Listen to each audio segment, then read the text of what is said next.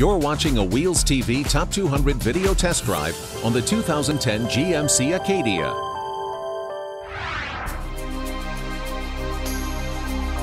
With the 2010 Acadia, GMC has created a low-slung, well-balanced crossover with a design that remains current and edgy in this its fourth year.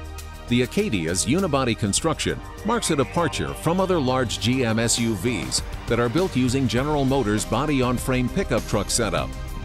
The full-size Acadia is GMC's first CUV, or crossover utility vehicle. It's also the first vehicle available in front-wheel drive from the brand known for its rear and four-wheel drive trucks. There is one powertrain available, a 3.6-liter V6 mated to a 6-speed electronically controlled automatic transmission with overdrive. This setup provides 288 horsepower and 270 pound-feet of torque, enough to give the Acadia a towing capacity of 4,500 pounds. Four-wheel disc brakes with ABS provide the stopping power to bring the nearly 5,000-pound SUV to rest. The Acadia's handling is augmented by stability control and rollover prevention technologies. The all-wheel drive Acadia delivers 16 miles per gallon city and 23 highway. The front-wheel drive model gets 1 mile per gallon more in each category at 17 and 24. Our Acadia was loaded with extras, which took the standard leather interior appointments and seating for seven to a much higher level.